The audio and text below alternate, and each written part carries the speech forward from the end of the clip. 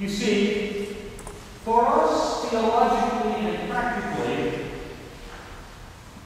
those who come forward to be confirmed, to affirm their baptismal vows, become for us outward and visible expressions of the call of all Christians to live into that covenant. And in a few moments, we're going to rehearse that. The entire people will. We'll all get to renew our baptismal covenant in this liturgy. And those who are to be confirmed or received serve for us as a reminder of the call to all of us to be mindful of our need to serve God's people outside of the body of the church. But falling on Ember Day, it gives this bishop the opportunity to sew together that baptismal covenant with an understanding of our ministry as God's people. And so, fasten your seatbelts, you're in for it.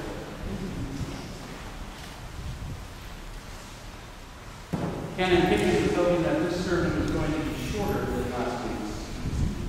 He's going to. So what does this all mean for us?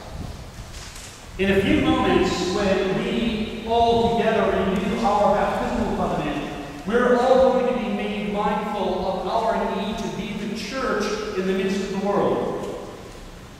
We're going to be reminded of all the ways in which we are called to really be the body of Christ in the midst of the world.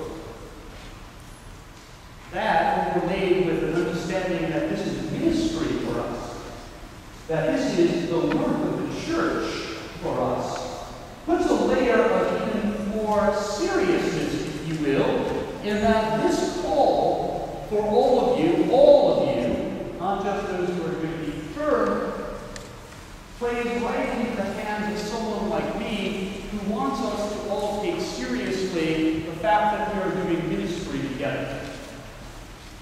If I were to run down the center aisle now and get a microphone and put it in front of someone's face and say, Who do you think ministers in the church?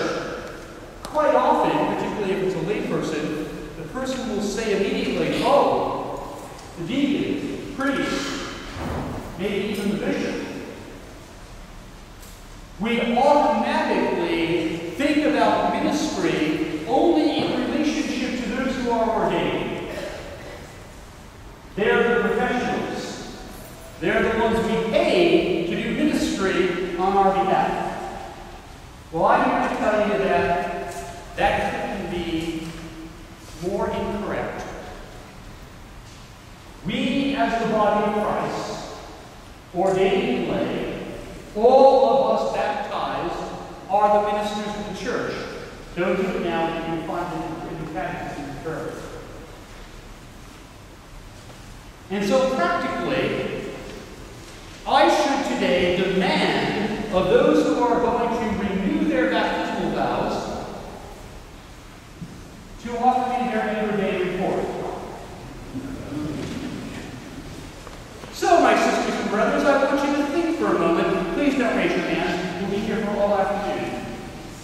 I'd like you to think for a moment, when was the last time you acted as a minister? Not, not helping the chalice or doing things in church, great. Not being a church school teacher, but really being a member of the body of Christ, a minister for Christ in the midst of the world in which you live. Think about it for a second. I'm going to give you a moment. And those of you who are about to be confirmed better be thinking hard. When was the last time you acted as a minister for Christ in the world?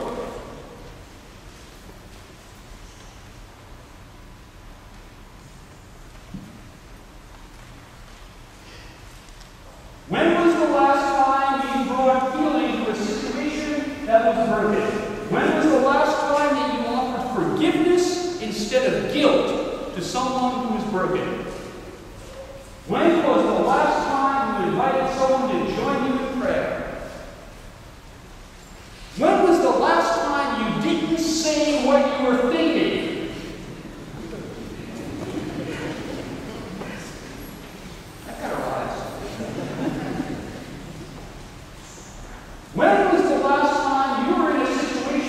where you knew that if you said something, the outcome could be different than the one you experienced to the positive. Because you know that the other answer in all of these rhetorical questions I'm asking is where you've seen. Every time we kept our mouth closed, every time we didn't offer an open hand, every time we walked past that person who was in need, every time we judged our neighbor for the silliest things like, like, like not taking in their trash barrels or cutting their grass on time or parking in front of your home, every time that woman who came into church last week sits in your pew, takes your prayer book, gets in front of your coffee hour,